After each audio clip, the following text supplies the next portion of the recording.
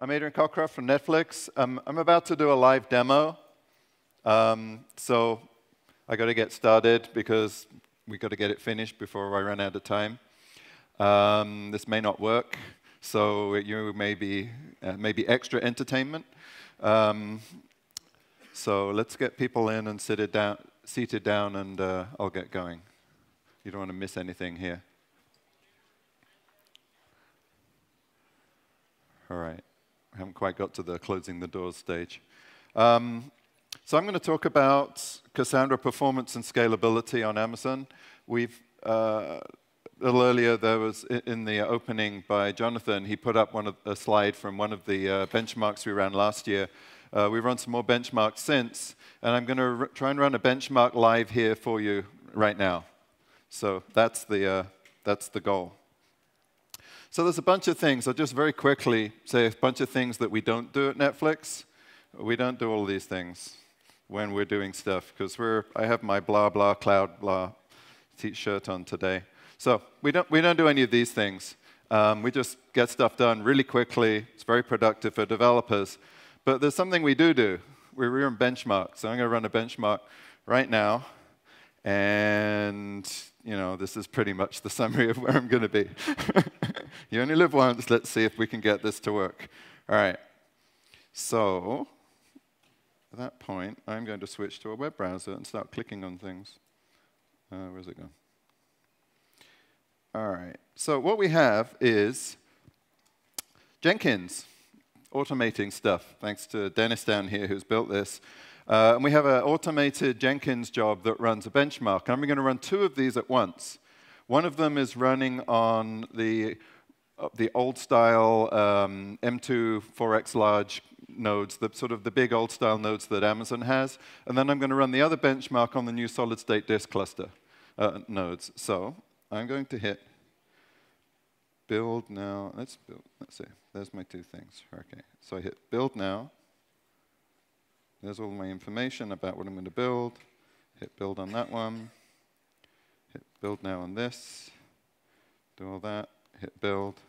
All right, now it's off started, I hope. Um, we can look a little bit. OK, we got the build coming in here. There's that build going. All right, so we started the builds at 1036, so we'll see if they manage to finish by the time we're done.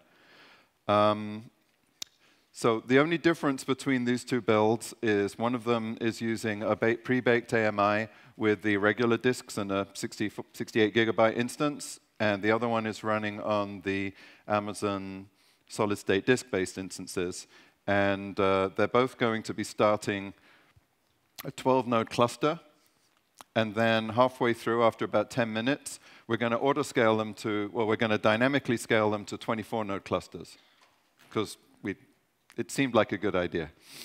Um, and there's nothing like trying these kind of good ideas for debugging stuff that might be wrong. So this is, this is our Asgard system used provi for provisioning, and this is the state it was in before I ran that, I started the job. So let's see how we're doing here. All right, we haven't got any um, instances here. The two that are running are the M2, that's the M2 4XL test, and the other one is this perf test. So we should see stuff starting to appear here. Um, and this is, and if you want to email Dennis, only, only if you have your resume, must be in the attachments, right?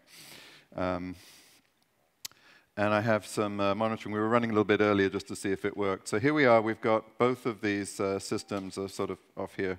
Actually, they haven't started coming up yet, so there's nothing here. So I've got a little dashboard that shows me what's going on.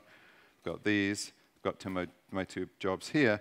And I have a couple of circular uh, things we call Kerkloss, which is a, a, this will fill in showing you all of the different um, nodes as they start to appear.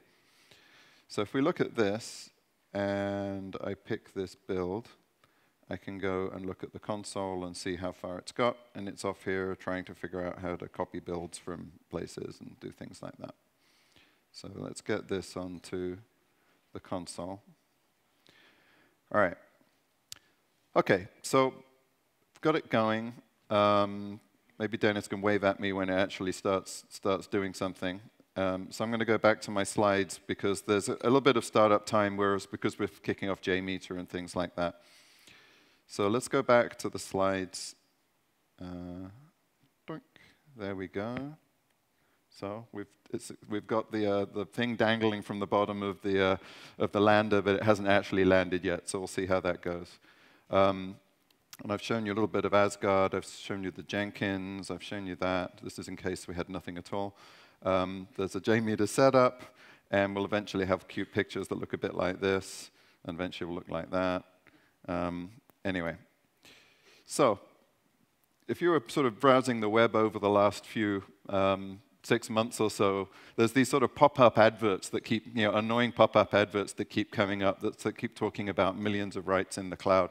And if you click through them, you find that they're actually talking about the benchmark that we ran last, uh, last October. So it's uh, described in the tech blog, and I just wanted to briefly mention this. Um, this was a scalability test. We took our production at uh, Cassandra AMI, and at that point, the biggest clusters we'd run in production were probably 24 nodes. Maybe we'd run 48 nodes a couple of times. And I just, well, let's see how big this goes. And let's see if we can keep going till we have a million replicated writes. And we kept going, and, and Dennis and I worked on this. Um, well, Dennis really did all the work. I wrote up the uh, results. And we got to 288 nodes with, with cha really changing anything in our production. We found a couple of minor bugs along the way.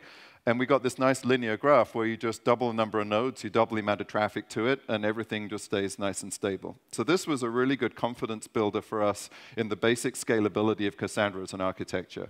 That was the idea. It wasn't that, hey, you know, because some people say, well, you needed way too many machines just to do 200, you know, to do a million writes. So that wasn't the point. The point was these are little tiny 8 ECU uh, machines. They're fairly slow, and we just wanted to throw lots and lots at them at the system. Because if I do this with much bigger instances, or, or, I tune my instances, I'm pretty sure I can scale anything. So I now take whatever my base instance performance is and multiply it by an arbitrary large number, and I can, I can handle any workload.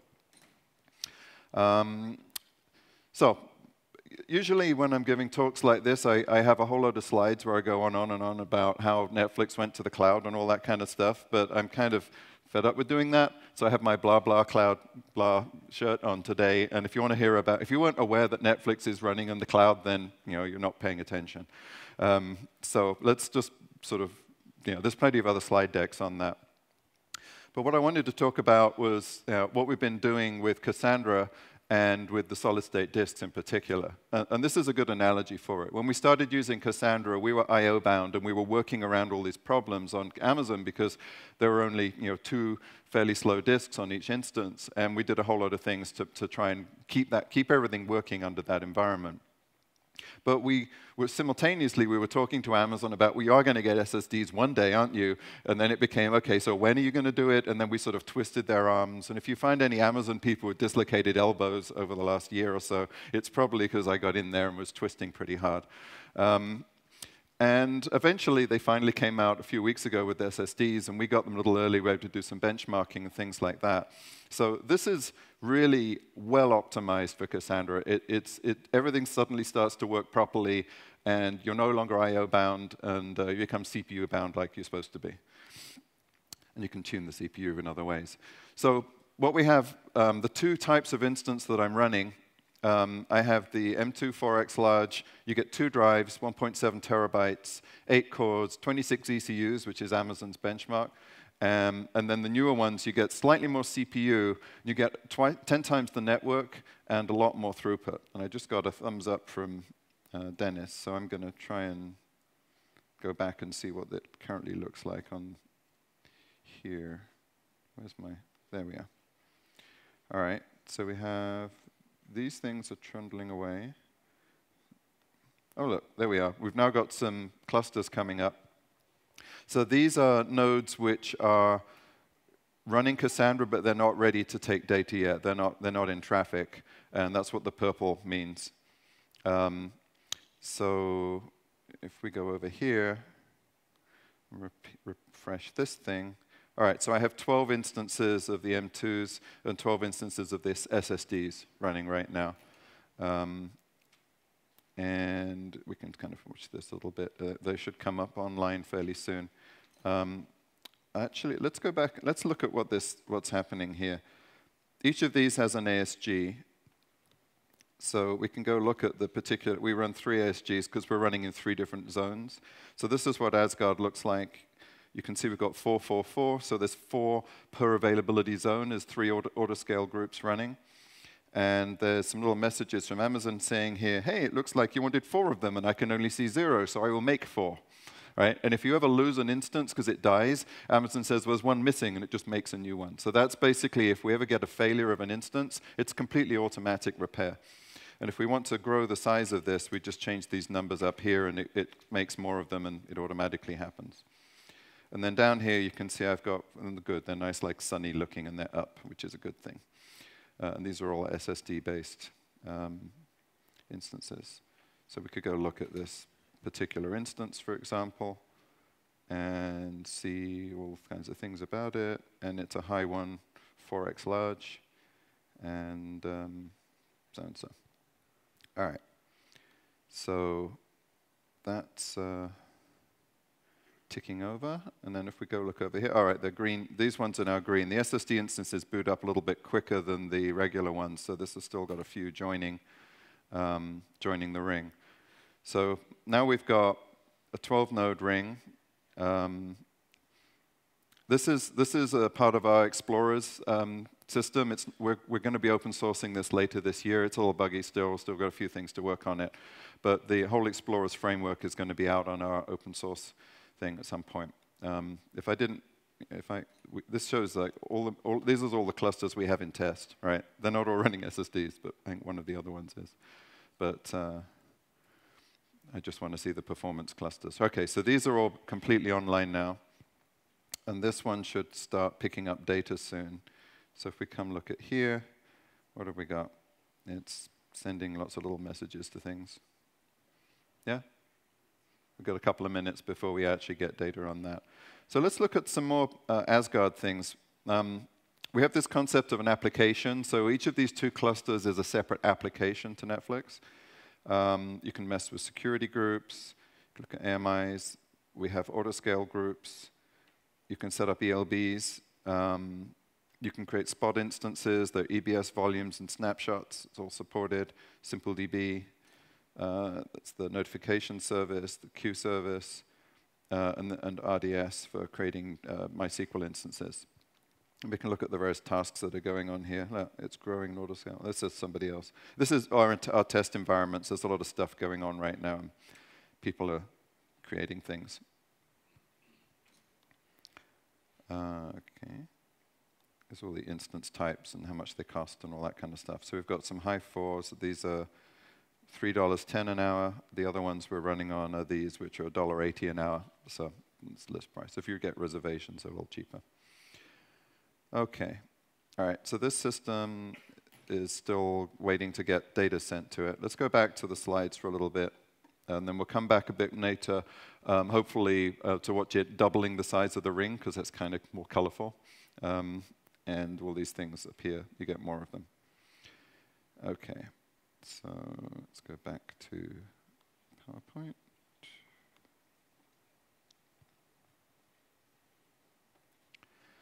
All right. So just doing um, IOZone benchmarks, we got uh, 100,000 IOPS and uh, a gigabyte a second on the new instance type. And it's a 10 gigabit network, and they built it to be a balanced system. You can do approximately a gigabyte of data coming in and out on the network, and a gigabyte of data going on and off of disk. It's sort of balanced to do that as a data backend. Um, with the load we're putting on it here, we're running much lower throughput than that, uh, and most of the benefit comes from the, uh, the lower latency, and I'll show you some numbers later on.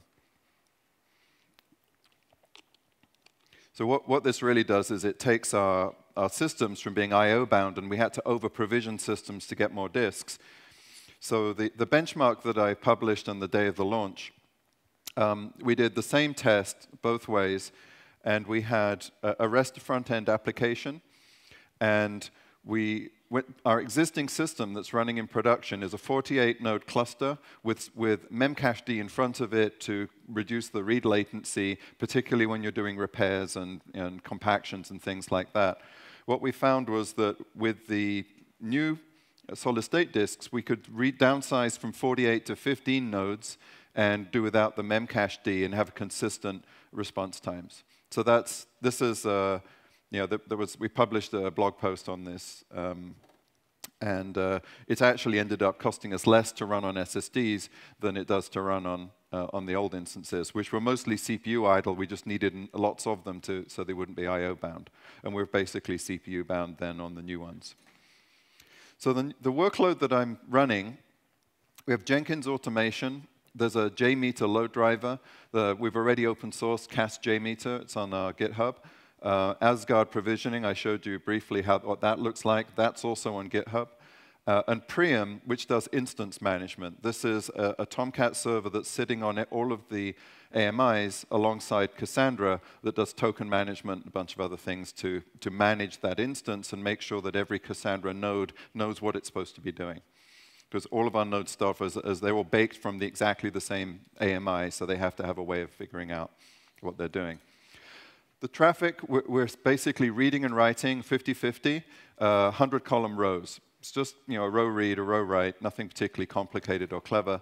Um, the source key is, is from a, a, a, table we have of, or a pre, pre, pre-allocated thing of about 25 million row keys, which I think about as sort of customer IDs. We have roughly 25 million um, Netflix customer IDs that we're typically throwing around, so, so that's a, a common workload for us. We're going to run this for 10 minutes and then double the ring size and then have another 10 minutes. And the whole thing, in theory, the, the Jenkins job runs for half an hour, but it takes a little bit a while to get going at the beginning, and then it takes a little while at the end to summarize the data. So I'm hoping that we'll actually have the uh, graphs of the, that are collected. So the Jenkins job and the JMeter system automatically goes and collects graphs. So once the job's finished, it shuts the entire cluster down. You're, you're not using anything and you've paid for one hour of your machine time, uh, but you still have all the graphs of all of the performance information that you'd be interested in. All right, so I'm going to talk a bit about um, how Netflix uses Cassandra. Um, so let's start off by talking about the streaming service. The DVD service is still running in the data center on Oracle and big old, you know, boring lumps of metal like that. Um, we, are running in the cloud, and we're running all the streaming service in the cloud. So we have a few front-end services. We have uh, the non-member site. That's a marketing site. It's designed to get your credit card and email address out of you so that we can start calling you a customer. Um, it has a few interesting issues because there are credit cards in there and, we, and uh, affiliate signatures and things like that. So it's in SOX and PCI scope, and we're having some fun right now getting, um, getting that stuff into the cloud, but we're actually working on that. We're, there's no big, I'm scared of PCI in the cloud kind of thing going around. We're just doing it and we're working through that process. Um, the member website, which is the main one, main one that customers interact with, is called movies.netflix.com, and that's very personalization driven, extremely resource intensive, um, uh, many thousands of machines supporting that. We use CDNs for delivering bulk video and audio. Uh, we use the main CDNs that everyone else does, Akamai, Limelight, and Level 3. We've also started deploying our own CDN. And if you go to openconnect.netflix.com, you see that we actually have hardware. So Netflix is now a hardware company. We have this all, I think it's a 3U box with uh, 100 terabytes of disk in it that we give to ISPs and let them, let them install a cache, basically. Um, then we have APIs um, for internal and external devices. Um, again, if you're, if you're doing a hack day, a lot of people go to developer.netflix.com and do sort of hack day things around Netflix. And then there's another API that's not public, but is sort of sitting behind everything that controls the video playback that does DRM, quality of service management, bookmarks, and things like that. Um, so this is, this is the timescale of how we got on Amazon and which bits are now running uh, Cassandra. See, the, uh, all the stuff that's in blue is Cassandra backed. I've got little eyes at the bottom, but you, it's sort of color-coded. We have a couple of things running MySQL. Our content management front end, where people are editing movies, it's a very relational, constraint-based thing. You're editing the metadata for movies, and there's only a few hundred users that are entering this data. So that's a good use case for MySQL. It's just, you know, it, it's just a very relational thing. So that's, that's built that way. Then we get the movie data files, we crunch through them in EC2 and S3, and then we feed that to the CDNs. And then we're running many terabits of traffic out the back end. Um, the, our logging system's based on Hadoop, so the little yellow, dot, yellow boxes there. Um, it's, we use the Amazon EMR uh, variant of Hadoop. We've been using that for since 2009. So we're a long-term, you know, like three years into this uh, of doing big data, as you might call it nowadays. We just called it Hadoop then. Uh, and we use a mixture of Hive and Pig. Uh, not, we don't really use HBase in this, but, uh, that's basically becoming our core business intelligence system. We also have a Teradata in there, but we're, we're sort of trying to make sure the Teradata doesn't grow with the business, it stays a fixed size, and all of our expansion is in the Hadoop size. So we're offloading more and more from the Teradata. It's a fairly small Teradata, and we've had it for quite, quite a few years. Um, and that's kind of sitting in the data center and doesn't, it doesn't expand. The play part is uh, where we do DRM, uh, all the CDN routing, bookmarks. So when, when you switch from one device to another, um, we remember where you are. That's a bookmark, and that, that's stored in Cassandra. It's a nice composite key of the movie ID, customer ID. We look it up, and we store the offset where you are in that title.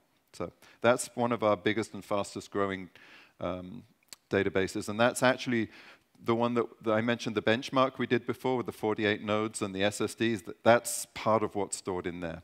That's, that's the, the back end of the streaming system.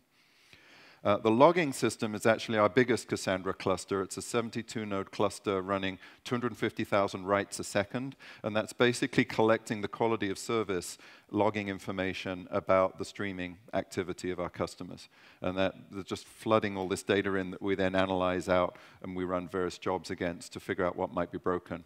Um, do, the data doesn't have to live there very long because, and because it's just log data, right? So we're looking at a fairly recent window, but we want to collect all the data. We have the whole website running um, from sign up, search, movie choosing, uh, and then the rating system, which is a legacy system we've had for a long time. If you think about the, if you've heard of the Netflix Prize, this is the system that sits behind that, and it's been running MySQL for a long time. And they, we are getting pretty close to getting them to move to Cassandra. They're just like, need one last push. Maybe they'll get it done this year. Um, the API, there's metadata, there's device encoding. Um, TV movie choosing, and the social network. We have Facebook. We don't surface the Facebook in the US but right now, but the rest of the world, uh, there's a Facebook integration for Netflix, so we have a social graph uh, all stored in Cassandra. Um, we have international customer service, so that's all built on Cassandra as well. This was an interesting case because they were, they were familiar with Oracle and they were familiar with MySQL, and they said, well, we'll have a look at Cassandra to see um, it's kind of new and unfamiliar. And then they said, Is that all there is? This looks easy. So they actually found it to be just the simplicity of the NoSQL database really solved the problems they had. They didn't have anything very complex, but, but they were coming from the mindset of, of working on Oracle schemas and Oracle queries. And it turns out that they had a fairly quick and easy transition into using Cassandra.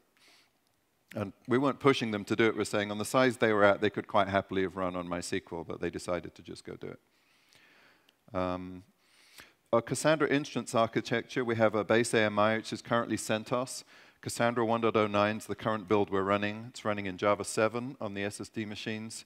Um, there's a bit of monitoring in there. And then we have Priam off on the side as another running in Tomcat as a little small you know, Java server running on the side. Uh, and that's doing token management, things like that. So to look at Priam, this is on GitHub. I've had it out there for a while. Um, it gives us zero-touch order configuration, state management for the JVM, token allocation, uh, broken node order replace. It just comes in and puts a new one in uh, and full incremental backup to S3. So whenever you write an SS table, we pick it up and copy it to S3 all the time. So there's, you know, you're running a minute or two behind uh, live, but you've got a continuous archive of everything that was ever written. And if you end up corrupting your database, either because of bugs or because you wrote something bad into it, you can go back to some point in time and Priam will actually restore, and you just give it a point in time, and it says, I want to restore as of this time, and it will go and pull all the files that uh, predate that time and give you a new cluster. And, you know, it takes as long as it takes to read data in parallel out of S3, so it's quite fast. We do a simple compression um, and we to try and reduce the load of doing this. Um, and then so that's the restore. And we can grow and shrink the ring. So you can double or halve the ring size with Priam. It's a little more manual than that right now. The next stage of this whole thing is to automate it. So that's, that's the back end. Then we, we were running into issues with the Java clients and trying to get a better interface into Cassandra. We came up with our own client library called Astyanax. Um, there's a lightning talk this afternoon by Eran, who's the guy that built this, uh, where he's, he's going to talk about the large file storage uh, recipe uh, about how, how he automatically shards sort of 100 gigabyte entities that if you put them in one column, it tends to blow Cassandra up, but how he shards that into lots of little things that, that works effectively. One of the things that Astyanax does is it gives a much better connection pool abstraction, lets, makes retry work better. Um, you can retry against a different node very easily rather than having to keep retrying against the node that you picked in the first place. It's token aware. I'll explain what that means a bit later.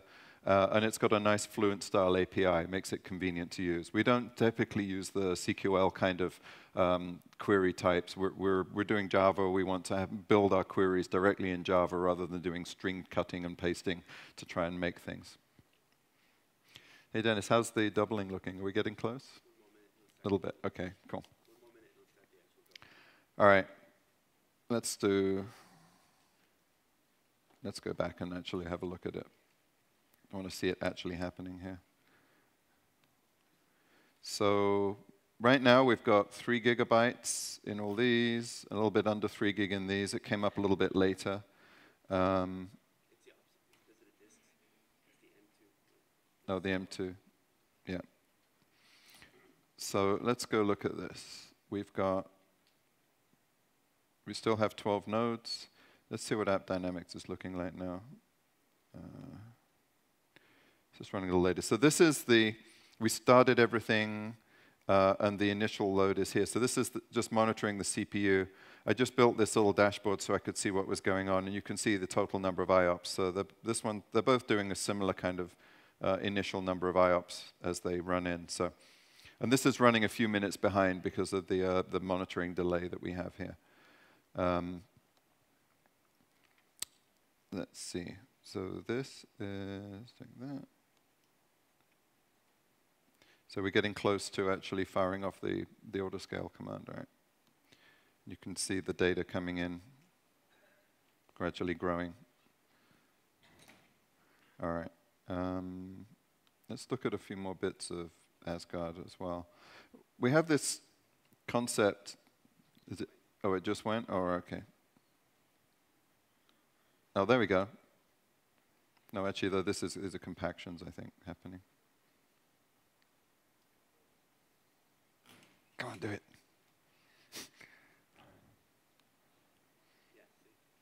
Okay, so this is the double ring call going to Priam. You can see there's Priam has a REST service, so we hit one of our Cassandra nodes, and uh, we send it a double ring command. What that does is that one Priam instance, uh, and these are the autoscale commands going out, it basically goes and we, we do token allocation management using SimpleDB because it's easy and it's always there. So it basically goes and lays out the tokens in SimpleDB and updates them. Uh, we're actually going to move that to be Cassandra-based using a Cassandra cluster we call the turtle cluster because it's turtles all the way down and you had to have one at the bottom. Um, and that configures itself somehow. Um, but right now, we, it pokes it, it lays out the new tokens, and then it goes to Asgard, which is the, uh, uh, knack test somewhere here. You can probably, yeah, knack test. So this is that Asgard, this is this tool, right? This is knack test. And now you can see, oh, it hasn't actually done it yet.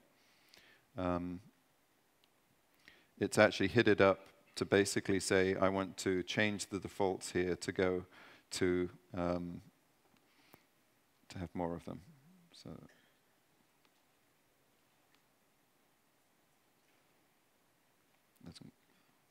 did it take it? Oh, if I go look at this one.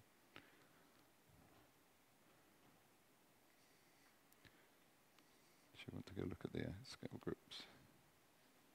Yeah, so it says 888 here, but there are actually only four. So Amazon is about to go and start creating new instances. Yeah, here it is. It says it needs eight. It's actually launching them it's launched it successfully, but it hasn't quite come up yet. Um, Uh, da, da, da. Oh, there, I see they're starting. This, this three in service. They're not quite up yet because uh, Java's not running on them. Yeah? The, the row size, we're, we're writing 100 columns. The, this is just a test, so we're just writing a 100 column row. They're 100 integers or something like that. It's, it's, I mean, we have all kinds of different schemas. This was just for the purposes of doing a test. All right, so this is coming along quite nicely. Okay, there they are. They're now up. They're in service, so they're now running Java. And this means that Priam is now up because we're seeing it in our own discovery health service. So that's what Priam is managing, the, that piece of it.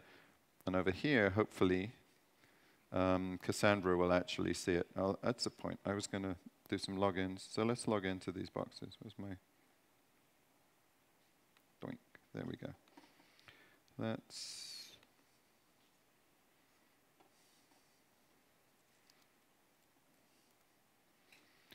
There we go.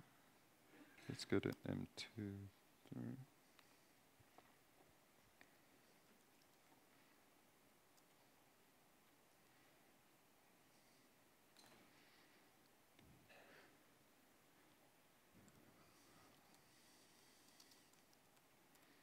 Oops. Yeah, so there's the ring on that one. And this one. So we haven't yet got uh, the second nodes in there, but you can see the traffic. And if I do an IOStat, something like that, we can see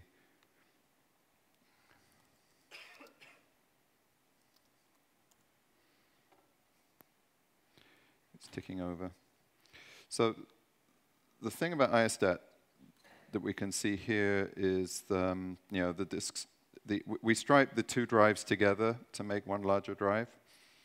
You can see this, this, this wait time, 27 milliseconds. So this is against the regular drives with the traffic we're sending it. Oh, look, you see, we just got some more nodes up here. So there's 17 here. So it's bringing, working its way up to 24. The red ones are, I see the instance, but it's not running Cassandra yet. Um, purple means I'm in repair mode. I'm still uh, joining the ring. Um, and then green means I'm completely up. So you can see this wait time here is, is, is sort of in the 20 to 40 to 60 millisecond level. And when we look at that on the solid state disks, it's single digits, it's four milliseconds or something like that. And that's with a queue of IOs. That's how long it takes to, to be the last IO in line to get all the way to the front of the queue and complete, right? So the, it's draining its queues extremely quickly, and that gives you a very low, consistent response time. We're not driving these particularly hard. We get like 30, 40% busy at peak here. Uh, that wasn't really the point of this, this test. Um, and also, this test was sort of got going at about 1 a.m. various parts of it. So, okay, so we're now up to 23 nodes, and then this one is also starting to grow uh, its, its, its members as well. So we've got one more node to come in on the left, and we'll see if we actually get all our 24 nodes. We accidentally, um, Dennis and I both tried starting to run something at the same time this morning. It turns out this demo is not reentrant. Um, so we actually ended up with a SSD cluster with 36 nodes in it because it, we thought to deploy one on top of another, and, and it was all got very messed up. Anyway, okay, so we're now at 24 nodes. This one is still booting up some of its instances. These are now all in a joining state. These are live, these are joining. And you'll see these go green. Um, and I got a little bit more time, so that's good. So let's just watch these go green, and let's bring back the. So this is pretty intensive. Um, so you can see we're doing 1,000 reads a second here.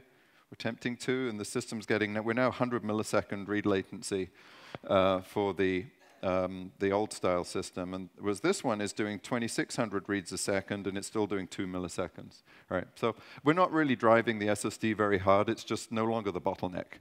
Um, we can do a lot of compactions. We can do. We've been running systems with almost a terabyte of payload on them, and uh, you know you can do repairs on that without impacting things. I mean, this I've only got a few gigabytes of data here.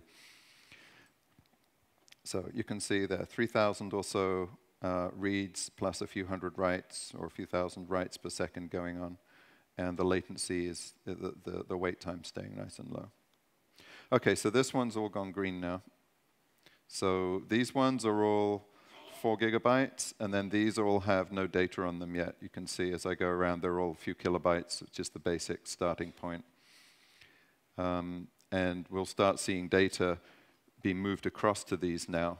Um, so they're on in the ring, and they're getting updates of new data, but they, they don't have their historical backlog of all the data they should have, so they're, they're not fully serving yet. Um, okay, so that's, yeah, there's the, the uh, auto-scaling update commands.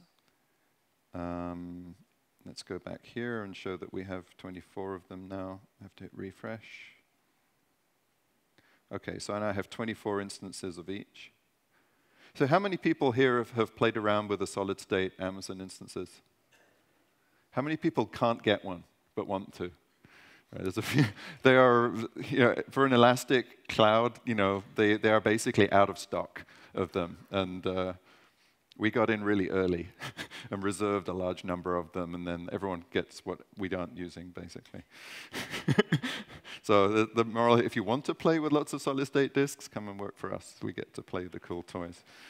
Um, so here's, here's the uh, sort of, this is just CPU and IOPS. I wanted to do a side-by-side. -side. What you can see here is uh, the CPU is roughly similar, um, but the number of IOPS that we can get so, so as soon as we start doubling the ring, it wants to do like thousands, more than 2,000 reads a second. But, but on the um, on the older M2 SIME, it can't. It's sort of maxed out. You're sort of at 500 IOPS depending on what you do. It's sort of 500 to 1,000. You can't really get any more. So what happens is it starts to take a long time to, to, get, to get everything through, and it starts impacting the read performance, the write performance, and the whole benchmark starts to slow down. It's a little bit overloaded and it's I.O. bound. Whereas the, this one's going, yeah, so what? You know, give me, give me more reads. I can take this. Um, all right, so they're now uh, just about all up. And over here, yeah, you see here now I've got 700, I've got one and a half gigabytes on this one. They're, take, they're coming up all different times, but, right? So we've now got the ring growing there. All right, so I'm going to switch back to PowerPoint and uh, talk about a couple more things and then uh, come back at the end to see how it all went. All right, so I did that, I did that, I showed you that. I showed you something that looked like that. This is all in case it didn't work. I showed you something that looks vaguely like that, but that's what it looked like when it's finished. Um, so I'm going to talk a bit about um, the deployment pattern we have for highly available Cassandra. Um, you can lay out Cassandra any way you want, but the way we do it is we do replication factor of three, and we put all our data across three availability zones. We use read-write-1 uh, for fast fire and forget type applications. And if we want to be sure that we read back what we wrote, we use a local quorum. So it's a two out of three. Um, and then Amazon zones are separate buildings. Uh, this, is, this picture is actually not accurate. One of those buildings apparently might be one of the Amazon zones, but the other two zones are far enough away that you wouldn't get them on the same picture. They're a mile or so away, but think of them about a millisecond or so away. So you've got three buildings are roughly a millisecond apart that are in separate parts of you know, Northern Virginia or Western Virginia, wherever it is. Um, and the way that this works, and this, this diagram's not actually that accurate, but it, it, it, this gives you a, a, rough idea. If you've got the way that most Cassandra clients work, they aren't token aware. So they just pick a node in the ring and say, hey, I want to store this data. And that node says, well, actually, I don't, it's not for me, it's for these other three guys. So you get the first, the number one is you send it to the coordinator, then you get that coordinator sending data to a bunch of other places, and then they return immediately saying, okay, I got that. I now have three copies in memory. I'm fine. I can return, which is why writes are so screamingly fast. And then within 10 seconds, they flush that to disk. We use a 10-second uh, disk flush to the, to the redo log. But the problem with this is I've got two hops on the network, and it's maybe a millisecond or so to get from zone to zone, because I'm in separate buildings, remember. So the way Astyanax does it is that it reads the ring state all the time, and you get this behavior where the client is token aware, and it can talk direct, it knows exactly where it's supposed to send the data. You save a hop, and you save yourself a millisecond or so of network traffic. Um, and so that's, that's really the primary difference between Astyanax as a Java client and uh, Hector and the other uh, clients that are out there. Um, you still get all, the, all of the pooling and independence and, and, isolation, but it's got a more efficient way of figuring out where to send the data. Now, when we're doing multi-regions, we, we have you know, three zones in the US, and the, but we also have customers in the, in the UK and Ireland.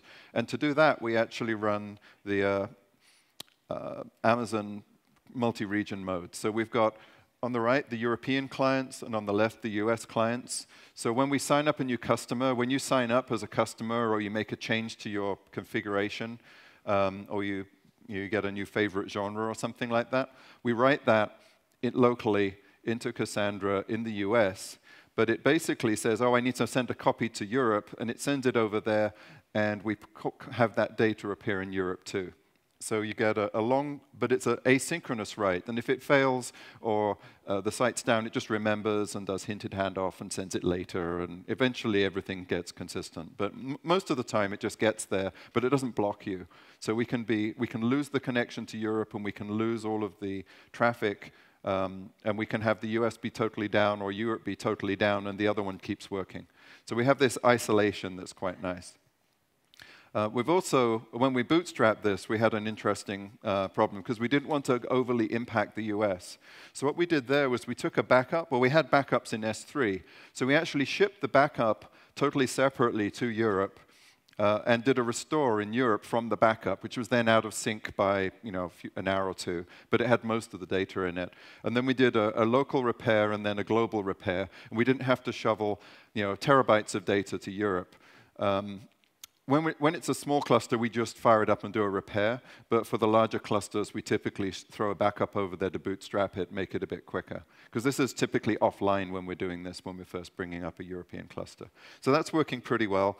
Uh, this was done live online with no downtime. So we went from a single region cluster to a multi-region cluster. My analogy for this is you're on a, a US flight on a, one of those 737s with two engines, and you, you, decide that you want to fly to Europe, so you bolt on four, two more engines and a bigger fuel tank somehow, and then you fly it to Europe, right, without landing, sort of.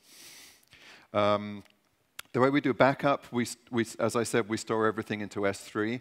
We also make a cross-region archive into another, another Amazon region so that if we, we, lose everything in, say, US East, we have another copy of our data in US West. It's S3 files. They're easy to copy around. Now, one of the things when I showed you that, um, that those circles, and I, I, took away the filter, and you saw how many Cassandra clusters we have, we have a completely denormalized uh, architecture, not just the Cassandra level. Um, so we have, you can't do a join in Cassandra because the data you want to join isn't in that ring anyway. It's in some other set of rings. So what we have to do is gather data from maybe 10 or 15 different Cassandra clusters in order to do our ETL for our data warehouse. So we, what we have is, a, a, we, we, did a blog post on this. Um, it, it's a Hadoop input reader which knows how to read Cassandra backup files. So it takes the raw, it, there's no Cassandra involved here, and Aegisthus is the person that killed Cassandra, because there is no Cassandra involved here. So uh, you have a dead ring, you have your data, we can import it into ETL, we can import it, and then we run a Hadoop job that does the, uh, it deduplicates. I have three copies of all my data with timestamps, so it uses the Cassandra algorithm to combine them to the latest timestamp, and then it uh, does all the joins and the deduplication and the cleanup that we need for our ETL processes, and then we load that into our regular you know, Hadoop clusters or uh, into the Teradata. So we did a post on that. The code, if, if anyone really, really wants that code, we, could, we should probably open source it. But most people I, I, have seen don't have tens of Cassandra clusters yet, so they haven't quite run into that problem. But when you get there, we'll probably open source it. So talking about open source, um, we have built a whole platform. Uh, we're releasing that platform uh, Git by Git on GitHub. Um, we're, we're building from the stuff we have on GitHub, um, which means that we're not just throwing it over the wall and walking away from it. Um, it it's the current version. Uh, and we check code into there and then build from it. And that's so you're seeing the code that we're currently running or, or a variant of it, you know, maybe ahead of what we're currently running. We're doing lots of intros and things at techblognetflix.com, and there's new post, there's a new post or a new code there every few weeks. Um, and what we're trying to do here, partly we consume a lot of Apache uh, code. We wanted to give back to the community. We're also using this to motivate and retain our top engineers, and kind of we like to hire the sort of people who have their own GitHub repository with something interesting in it. So think of GitHub as your resume if you're a developer now. If you if, if you turn up for interview and you don't have a GitHub repository and some list of interesting projects you've uh, you've contributed to, then you know what are you developing again? You probably maybe you're doing like submarine warfare software or something. But you know, that's you know, you've got to have a good reason why you're not not involved in the community nowadays. Uh, we're also finding that every time we go to open source some software, there's this moment, oh, hang on a minute, I need to clean that up. And we're getting really good cleanup on our code. And this is probably the biggest short-term benefit. Um, there's a mass, it's really difficult to get engineers to clean up their code you know, without just if you just ask them to do it, it, it's on the back burner, it never gets a high priority. But if the result is their code's going to be seen by anybody in the world on GitHub, that's a big peer pressure thing. It works very well. So the projects we currently have um, the red ones are currently out there. We have a few that are coming soon. Um, there's a Cassandra-related set, Priam, Astyanax, and CassJMeter, which we're using uh, today. Um, we've got uh, the Cassandra itself, where we've put in quite a lot of, of fixes into Cassandra, um, mostly the EC2 data and, and data store support. Um, and then uh, just this is just a blog post at this point. We, have, we use Zookeeper for distributed coordination. We have a whole load of uh, things related to that. Um, and then uh, Archaius is a dynamic property service that we, we use it back-ended into Cassandra, but it's actually got an independent pluggable backend. So it gives you the ability to run configuration parameters and tweak them all over the world for all different kinds of services. Um, it's, it's not particularly interesting as a project. It's just that every other project we have depends upon having a, the ability to dynamically tweak things, so we had to release that early. We're coming out soon with our discovery service directory, um, which we're calling Eureka, I think. Uh, EVCache, we did a blog post on it a while ago. It's a wrapper around memcached that makes it, gives it some more flexibility. And the circuit breaker pattern's coming out soon too. Um, and then Asgard is probably the biggest single piece of code. I mean, that whole user interface, there's an awful lot of code there. Um, and Chaos Monkey we released uh, a, little, a few uh, weeks ago. So let's just talk about Chaos Monkey. Um, machines will randomly die, probably at inconvenient times, and your code that, what, the, the code that handles that happening probably isn't well tested. So think of this as just forcing people to deal with the fact that things will die anyway. And things die in data centers as well. This isn't just a cloud thing. Um, but what we decided to do was just assume that things would break and then break them more often so that we test all those error handling code paths and all of the other things that could go wrong. And we only run them during the day, during the week, so that uh, if it breaks at the weekend, it really did break. And we're not trying to just wake you up at 3 a.m. because the monkey just got bored. Um, we have other monkeys. Another very powerful one we've been using recently is a latency monkey. It injects latency and errors, and that finds even more problems that, um, where things start backing up. Uh, and the observation there is make your timeouts as short as possible, because code tends to handle errors better than it handles long latency. Uh, you want to let go of those threads quickly and don't let everything back up.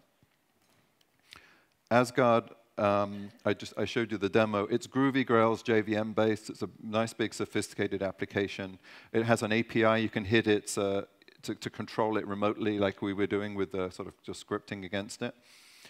Um, and it manages uh, the Amazon credentials for you, so you don't have to give every developer in your organization the, the Amazon keys.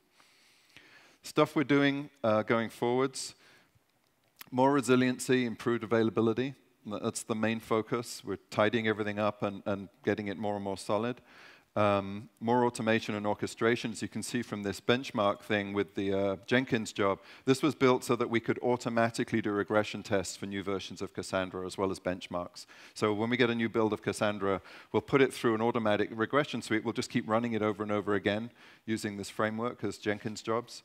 And then we'll roll it into our production system, sort of one cluster at a time. Hardening the platform code cleanup, open sourcing it is helping. We're also working on getting lower latency for our web services and our devices so that your boot up time in your PS3 drops from whatever it is, 15 seconds to 10 seconds of whatever, fast, making it faster. Um, we're running IPv6 in production. World IPv6 Day was a few months ago. We're one of the companies that turned it on and left it on. And if you have a clean IPv6 stack, you will stream from your web browser all the way through, uh, including the CDN.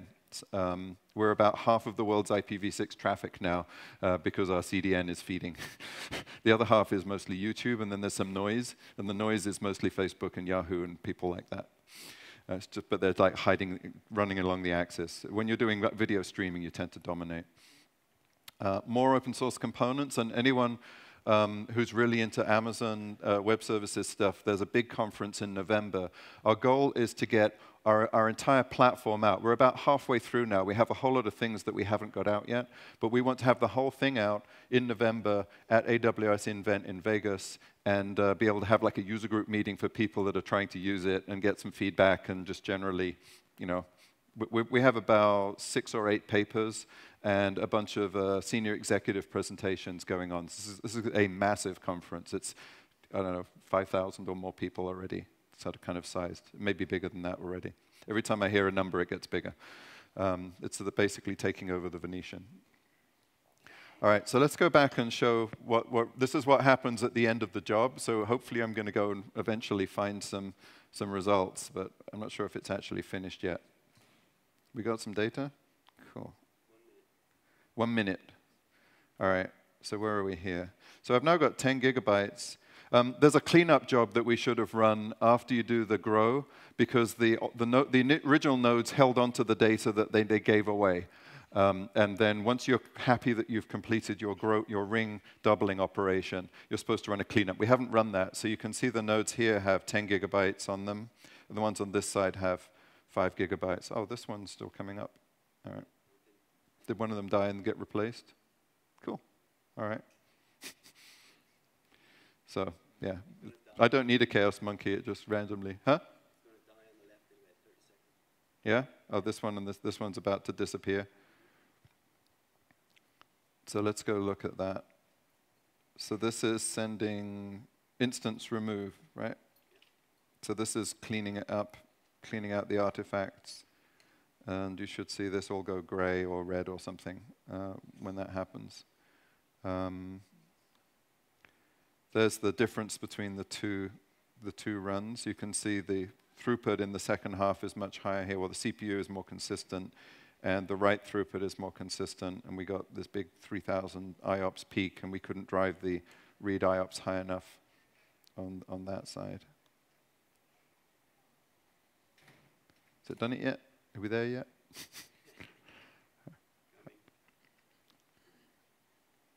so this is now, yeah, this is cleaning up.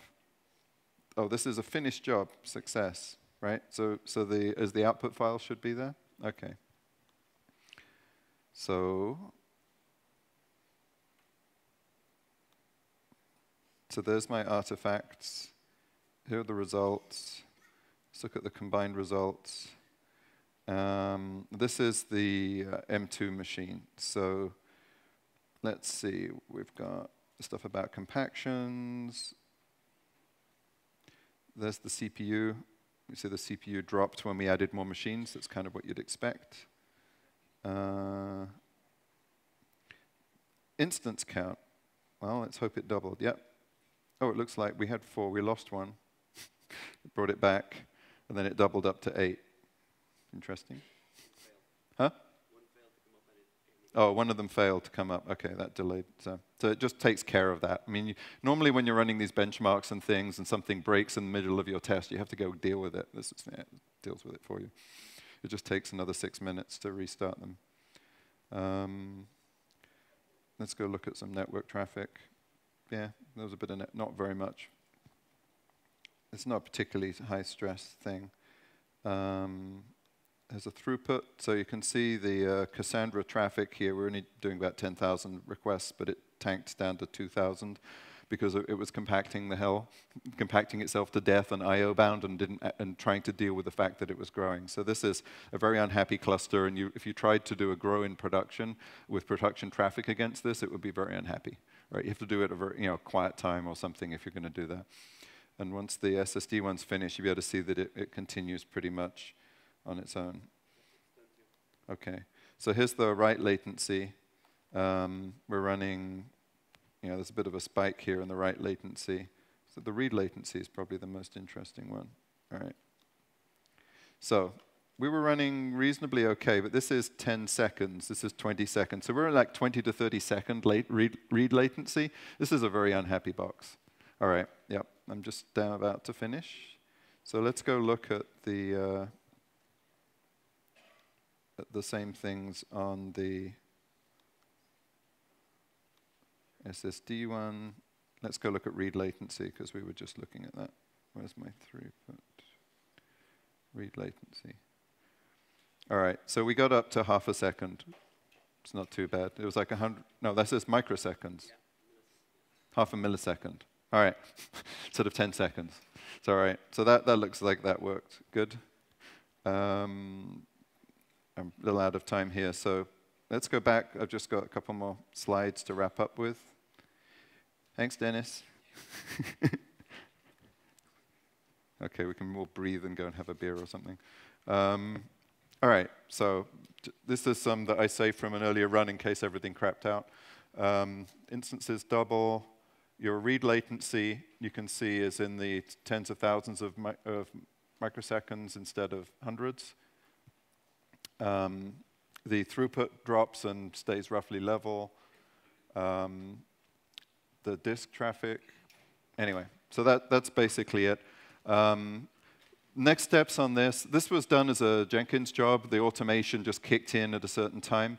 We want to make this more dynamic, so I'm, I'm hoping, um, I've got a talk at the NoSQL Now conference in about two weeks. I'm hoping to have a more automated version of this running there. Um, and uh, we'll see how that goes. Any questions the last minute or so that will get us back on track? Yep.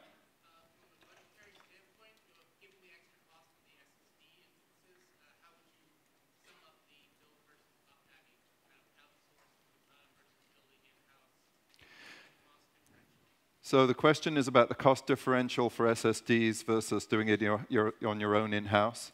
Um, there's two things. One thing, one of the problems with SSDs is that they wear out sometimes. But when you're in the cloud, you can just get a new one. You don't care anymore, right? So the, the whole wear out argument goes away because you just keep getting one, keep, keep allocating them until you get a new one. So you have to think about it a little bit differently. Um, the, the pricing they have is pretty reasonable. If you're looking at a um, uh, buying something and depreciating over three years, you should be using the three-year heavy usage model, uh, reservation model at Amazon, and it works out, I think, at about is it $8,000 or something? I'm trying to remember, no, it's 20K. Rough, about 20K is the three-year lifetime uh, cost of an SSD instance, but you can replace it at any time during those three years, so it never wears out. I mean, at the end of that three years, it's still a new one, basically. So that gives us, um, yeah, and there, you know, there's a lot of performance there. So I think, I, mean, I actually don't know how much stuff costs in the data center anymore because I've been using cloud for three years at this point. I don't, I I don't want to have to touch it again. I mean, this entire benchmark, I just, we just created and destroyed everything, and it's gone. One hour, I'm done. You know, that was it. That cost a few hundred bucks to run. So, okay, I think I'm getting yanked. So, thanks everybody, and we'll be around for the rest of the thing.